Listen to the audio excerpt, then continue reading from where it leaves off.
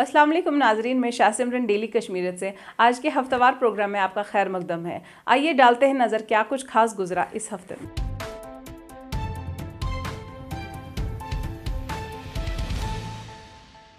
LG Manoj Sinha ने 14 दिसंबर को satellite township and Sahara heights housing colony का इब्तदा किया। इस सिलसिले में बताया गया, बढ़ते हुए आबादी को मद्देनजर रखते हुए ये कदम उठाया गया था, ताकि इससे लोगों की रिहाइश में सहूलियत आए।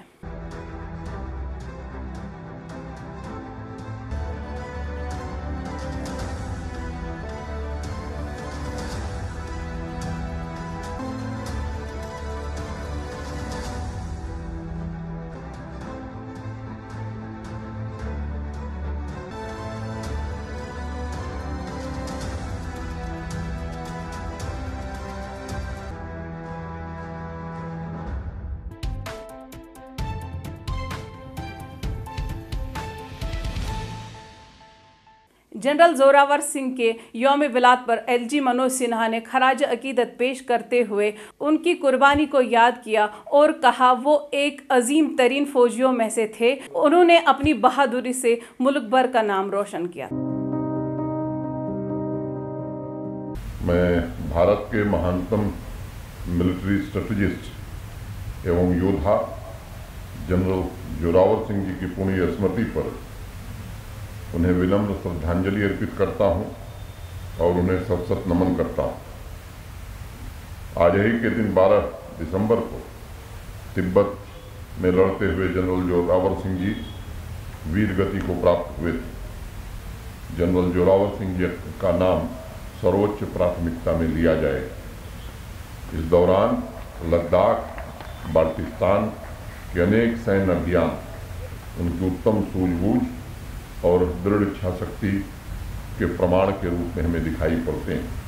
मैं उन्हें शौर्य, अनुशासन और कर्तव्य परायणता का प्रतिबिंब मानता हूँ, जिन्होंने दुनिया के सामने ये प्रमाणित किया कि वीरों के लिए कुछ भी असंभव नहीं होता। कोई भी समाज या राष्ट्र जो अपने बहादुर पूर्वजों को भूल जाता है, मैं समझता हूँ, वो रास्ते से भटक जाता है। आज़ादी मिलने के पश्चात भी जम्मू कश्मीर में क्या कुछ होता रहा है, मुझे बताने की आज आवश्यकता नहीं। लेकिन ये एक ऐसा दिवस है, जिस दिन हम सब संकल्प ले सकते हैं कि जैसा जम्मू कश्मीर जनरल जोरावर सिंह बनाना चाहते थे, जिस जम्मू कश्मीर के लिए उन्होंने कुर्बानी दी, उस जम्मू कश्मीर में अब निर्दोष नागरिकों के खून सड़क पर न गिरे। इस इंतज़ाम में हमारे सेना के जवान, हमारे बहादुर फोर्स के लोग लगे हैं।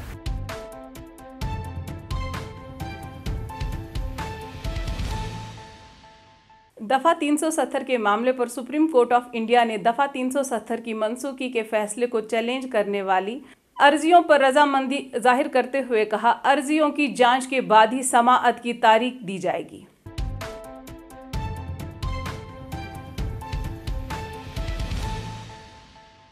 चीफ सेक्रेटरी अरुण कुमार मेहता ने 15 दिसंबर को टीआरसी में विंटर स्पोर्ट्स फेस्टिवल का इब्तदा करते हुए फुटबॉल प्लेयर से मुलाकी होने के साथ साथ उनकी हौसला अफजाई की और कुछ सामान भी मैसर किया। इस मौके पर सेक्रेटरी टूरिज़्म और कई दीगर अफसरान ने भी शिरकत की।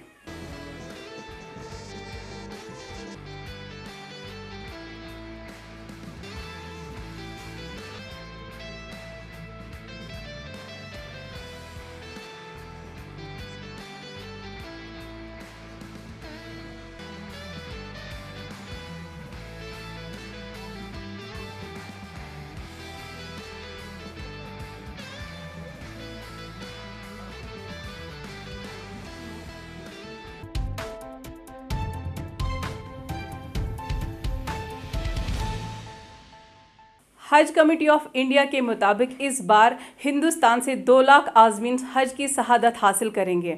आजमीन के सफ़र और अखराजात में अगले बरस एक लाख रुपए की भी कमी की जाएगी।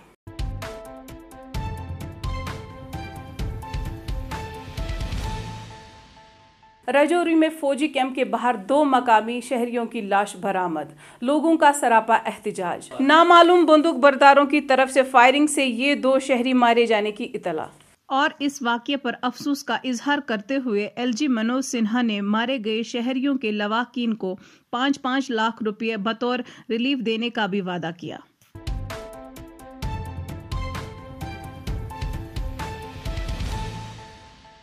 एसएमसी श्रीनगर में IVR base system and biometric system का इब्तदा किया गया। इस मौके पर एसएमसी कमिश्नर अथर आमिर और मेयर जुनेद अजीम मतू के साथ साथ और कई अफसरान की भी शिरकत रही।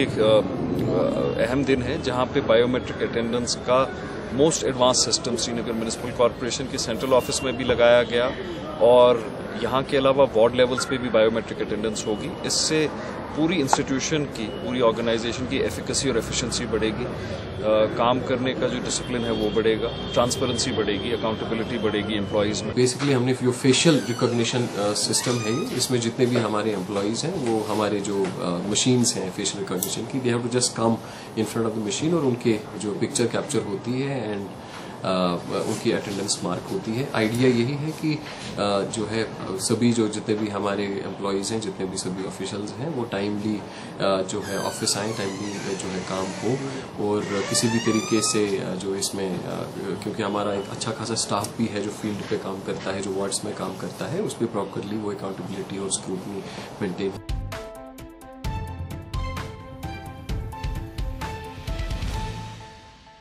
जिला बड़गाम के जानब एक ब्लॉक दिवस का अहतमाम किया गया था। इस प्रोग्राम में एडीसी बड़गाम और डीडीसी मेंबरान की भी शिरकत रही। उसके अलावा कई अफसरान की भी शिरकत रही।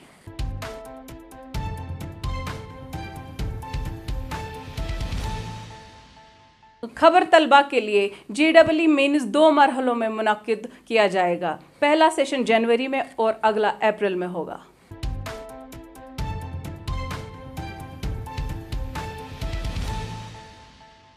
वादी भर में आग की वारदात रोनमा। दरियासना श्रीनगर के गुदूद बाग इलाके में छह रिहायशी मकानात आग की लपेट में आकर खाकिस्तर।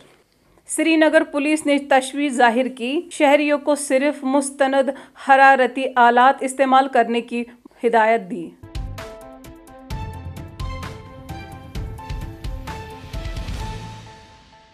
चंद रोज कबल जिला बारामूला के कस्बा सोपोर में सत्रह साल कमसिन तलबा ने दरिया में कूद कर अपनी जान का खात्मा किया।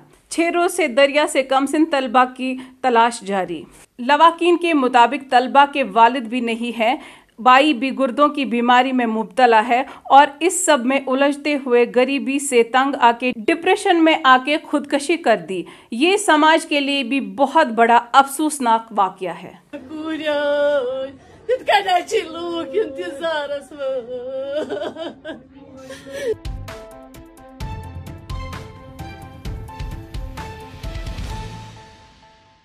तो नाजरीन, ये था आज का हमारा प्रोग्राम हफ्तावार। इंशाल्लाह अगले हफ़्ते आपसे फिर मुलाकात होगी। तब तक के लिए अल्लाह निगवान